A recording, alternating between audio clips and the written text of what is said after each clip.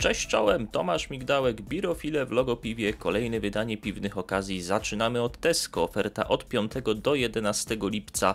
Tutaj zestawy e, mistrzowskie. E, Miłosław, Browar Fortuna, 5 piw plus pokal w cenie 29 zł 99 groszy. To tak na osłodę zakończonych dla nas mistrzostw świata.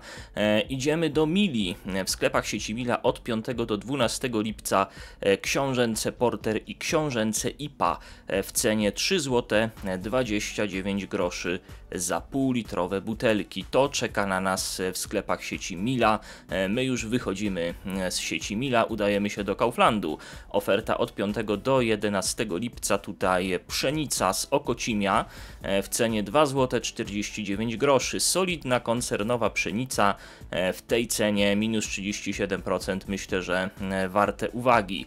Ok, udajemy się do Lidla. Oferta od 5 do 7 lipca. Tutaj Bavaria Wit, czyli bezalkoholowe piwo pszeniczne w cenie 2 zł 49 groszy za butelkę e, 0,33. To piwo czasami się mm, w Lidlu pojawia, ale to nie koniec ofert, ponieważ mamy również, jak to w Lidlu, akcenty regionalno-rzemieślnicze.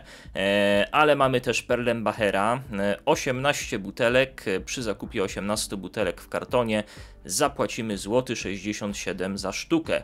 E, Gdyby ktoś szukał jakiejś opcji na grilla albo do meczu, e, to pewnie jacyś amatorzy e, tej opcji się znajdą. Oprócz tego e, mamy Lady Blanche z Ale Browaru w cenie 6 zł 99 groszy, e, czyli Witbier e, rzemieślniczy.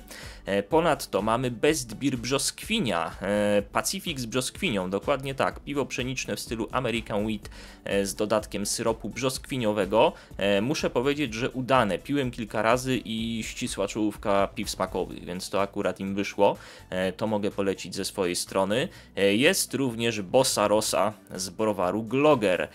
Bossa Rosa z trawą żubrówką w cenie 6 zł 79 groszy.